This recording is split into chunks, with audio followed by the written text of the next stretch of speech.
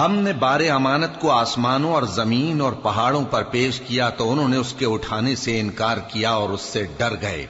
और इंसान ने उसको उठा लिया। बेशक वो बड़ा जालिम, बड़ा जाहिल है। ताकि अल्लाह मुनाफिक मर्दों और मुनाफिक औरतों और मुशरक मर्दों और मुशरक औरतों को अजाब दे। और अल्लाह मोमिन मर्दों और मोमिन औरतों पर मेहरबानी करे। और अल्लाह तो बख्शने वाला है, मेहरबान है।